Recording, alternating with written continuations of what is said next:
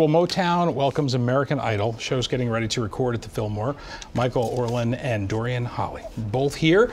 The uh, show's vocal coaches, two of them. How are you? Excellent. Really good. Really Welcome good. to Detroit. Freezing cold Detroit. We're from to LA. the- Oh, my, this has got to be brutal on you guys, Oh right? my goodness. It's a little brutal. Yeah, a little It's bit. cold. A little brutal on the kids too. I was going to say, I mean, for I mean, they're from all over the country, but I mean, for if you're a kid that grew up in warm weather, Right. You walk outside from the bus to the venue, you're a little Like this kid. right, Right? exactly. Right. You, you- you're uh, Jersey, right? I'm Massachusetts, Mm-hmm. but no, I'm so I'm used to it. But you know, these contestants have been in LA rehearsing with us for a week, so now all of a sudden they're getting shocked. Their system's getting You know shocked. the thing about bit. them is is that they're so excited though that they don't really care. Are you guys? When, I, I'm watching this House of Blues episode last night. First of all, when these kids are performing, I call them kids because some of them Yeah, are. we all do. But but when they're when they're performing at the House of Blues, the magnitude of that alone, there are artists that don't even get that opportunity. That we play their songs on the radio, um, but they seem like they didn't get too nervous. They uh, they they they did it.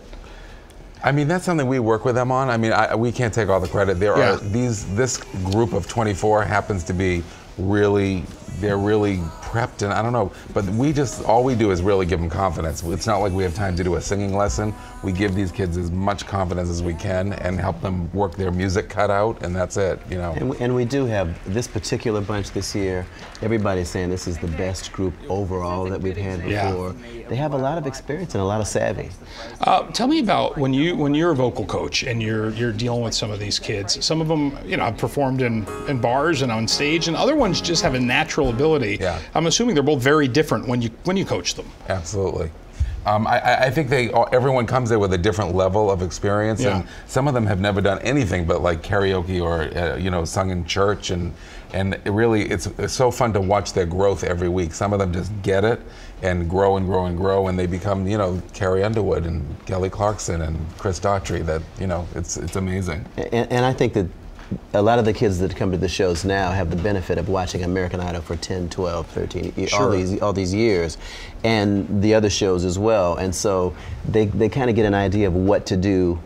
I'm going to go for the show in two years, in three years, or next year. So we have 15 year olds that were a year old when they watched That's crazy. Kelly Clarkson That's win. crazy. Right, right. Wow. Um, let me ask you this: When you uh, when you sit down with these guys, especially tonight or this afternoon before Yeah. they're about to perform, Right. um, you said you don't not necessarily help them so much with the nerves, but you do a little bit. Do you do you have to guide them sometimes on even though the song, the original song, you they went up this high, you're not going to be able to do that. Well, sometimes you do. Uh, I think that a lot of the kids, you look at a singing competition just like a race, Yeah. which is not a good thing to do. So you think that the higher I sing or the more stuff that I do, then I'm going to win. And one of the things that Michael and I uh, try to do is say, look, you already know how to sing.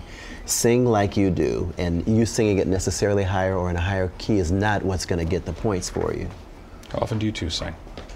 He's a great singer. I, just, I just play the piano. I don't Yeah, just yeah. play, but this Michael plays, and he is not a singer, but obviously has a great musical sense. And sometimes he will tell me, "Why don't you have him sing something like this?" He'll sing the line for me, and then I'll sing him so that it makes sense to them. Listen, I'm going to see you guys this afternoon. Can't wait. I'm looking Great, forward to it. We're going to have some Yeah. fun. And uh, thanks for watching, everybody. Uh, we're going to go American Idol today in Detroit. How exciting! I'll tell you all about it tomorrow, too.